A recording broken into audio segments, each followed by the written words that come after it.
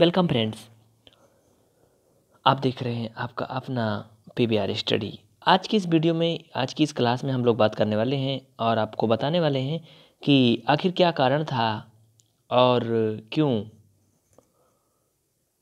हमारे भारतीय wing commander अभिनंदन को पाकिस्तान ने इतनी जल्दी रिहा कर दिया। आप सभी जानते हैं कि वह तो बिना किन्हीं कारणों के भी भारत पर गोलीबारी और हमले करवाता रहता है। तो आखिर क्या कारण था कि पाक आर्मी ने अभिनंदन को पाने के बाद भी छोड़ दिया? और इतनी जल्दी? देखिए, आपको हम जानकारी के उद्देश्य से इस वीडियो को बना रहे हैं तो पूरा देखिएगा। जैसे कि आपका घर चलाने के लिए घर में दादा दादी होते हैं या फिर मम्मी पापा लोग होते हैं, उसी तरह से एक देश को चलाने के लिए राष्ट्रपति होते हैं, जैसे अपने इंडिया में, है ना? तो जो ये विश्व है, जिसमें बहुत से देश शामिल हैं आपके, इनका भी एक नियम और कानून होता है। और वो नियम कानून जो है, सभी देशों को मानना पड़ता है। जैसे आप एक प्रकार से समाज में रहते हैं, इसको ऐसे समझिएगा, अगर आप कोई समाज से हट कर कार्य करते हैं, जो कि समाज में मान्य ना हो तो समाज के लोग आपको छोड़ देते हैं, या फिर आपको सज़ा देते हैं। ऐसा होता है। उदाहरण के लिए आप इसे ऐसा देख सकते हैं भारतीय समाज और संस्कृति में कुछ नियम कानून हैं, जैसे कि आप किसी को गाली नहीं दे सकते हैं, किसी को बुरे शब्द नहीं बोल सकते हैं, और भारतीय संविधान और भारतीय संविधान की बात तो नहीं, भारतीय समाज की बात करें तो ये भी है कि अपने ही समान जाति, समान ही कास्ट के लोगों में शादी और विवाह का प्रबंधन होता है। नहीं तो ऐसे हट के कुछ करने पे काफ़ी पापड़ बेलने पड़ते हैं। तो उसी तरह का कुछ ए सम मतलब कि एक समझौता हुआ है, जिसे जेनेवा कन्वेंसेशन के नाम से जाना जाता है। और उसमें ये प्रावधान किया गया है कि अगर युद्ध में कोई भी घटना होती है तो उसमें इस बात को ध्यान रखा जाना चाहिए कि इंसानियत और मानवता को शर्मसार ना होना पड़े। इसे आप देख सकते हैं। जिनेवा कन्वेंसेशन का नाम दिया गया, इसका मुख्य उद्देश्य यह रखा गया था कि युद्ध में इतनी क्रूरता ना बरती जाए कि इंसानियत व मानवाधिकार को शर्मसार होना पड़े।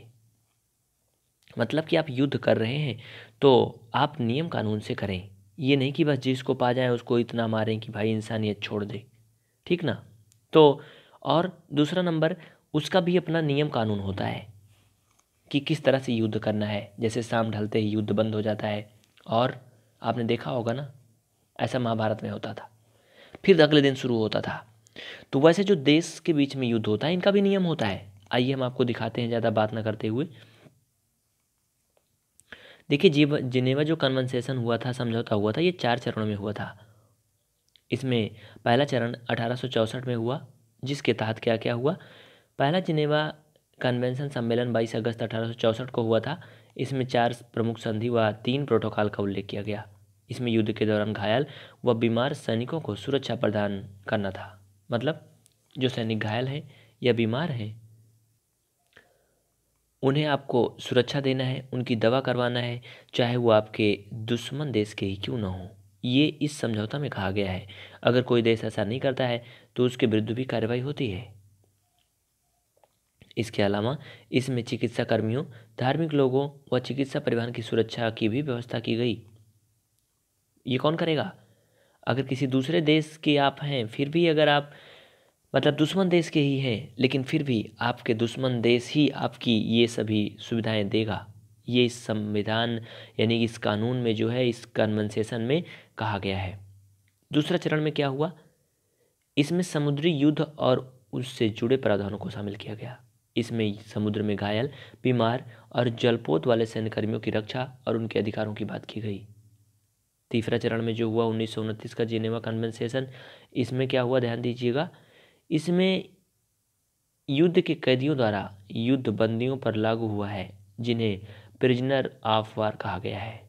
इस कन्वेंसेशन में कैद की स्थिति और उनके स्थान की सटीक रूप से परिभाषित किया गया है।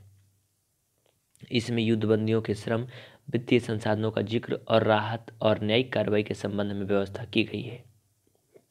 आगे देखिएगा। इसमें बंदियों को बिना देरी के रिहा करने का भी प्रावधान किया गया है। चौथा चरण उन्नीस सौ उनचास का जिनेवा कन्वेंसेशन। इसमें युद्ध क्षेत्र, यानी कि युद्ध वाले क्षेत्र के साथ साथ वहाँ के नागरिकों का संरक्षण का भी प्रावधान किया गया है। युद्ध आपके देश देश में हो रही है, लेकिन वहाँ जो लोकल लोग हैं, उनको नुकसान ना हो, ऐसा भी इसमें कुछ प्रावधान किया गया है। इसमें युद्ध के आसपास के क्षेत्रों के नागरिकों के अधिकारों के संरक्षण का भी प्रावधान किया गया है, ताकि किसी भी नागरिक के अधिकारों का उल्लंघन न किया जा सके। चौथा जिनेवा कन्वेंसेशन के नियम व कानून इक्कीस अक्टूबर 1950 को लागू किए गए वर्तमान में जेनेवा कन्वेंसेशन को मानने वाले देशों की संख्या एक है। जेनेवा से जुड़े कुछ प्रमुख तथ्य हैं। जेनेवा समझौते में दिए गए अनुच्छेद तीन के मुताबिक युद्ध के दौरान घायल होने वाले युद्धबंदी का अच्छे तरीके से उपचार होना चाहिए। युद्धबंदियों यानी कि पी ओ डब्ल्यू के साथ बर्बरतापूर्ण व्यवहार नहीं होना चाहिए। उनके साथ किसी भी तरह का भेदभाव नहीं होना चाहिए। साथ ही सैनिकों की कानूनी सुविधा का भी प्रावधान किया गया मतलब मुहैया कराई जाएगी। इसमें साफ़ तौर पर यह बताया गया है कि युद्धबंदियों के क्या अधिकार हैं। साथ ही समझौते में युद्ध क्षेत्र में घायलों की उचित देखरेख और आम लोगों की सुरक्षा की भी बात की गई है। इस संधि के तहत घायल सैनिक की उचित देखरेख की जाती है। इस संधि के तहत उन्हें खाना, पीना और ज़रूरत की सभी चीज़ें दी जाती हैं और इस संधि के मुताबिक किसी भी युद्धबंदी के साथ अमानवीय बर्ताव नहीं किया जा सकता। इस संधि का सैनिक जैसे ही पकड़ा जाता है उस पर यह संधि लागू होती है, चाहे फिर वह स्त्री हो या पुरुष हो।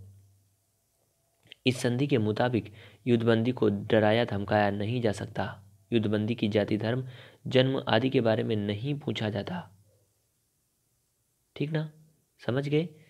तो ये था जिनेवा संविधान, यानी कि माफ़ करिएगा, जिनेवा समझौता कन्वेंसेशन, जिसके तहत ये सब तय हुआ था, और इन्हीं समझौतों और बातचीत को लेते हुए इन्हीं के यही सब कारण था कि आपके विंग कमांडर, हमारे विंग कमांडर और इंडिया के वीर सपूत विंग कमांडर भारती के लाल को पाकिस्तान ने साठ घंटे के अंदर रिहा किया। तो कैसी लगी आपको ये जानकारी? अपने विचारों को ज़रूर कमेंट करिएगा। अगर कोई आपसे गलती हुई तो माफ़ करिएगा। अगर आप सभी के मन में कोई सुझाव या शिकायत है तो आप निसंकोच उसे कमेंट कर सकते हैं।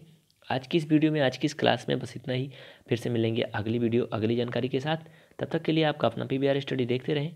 Thank you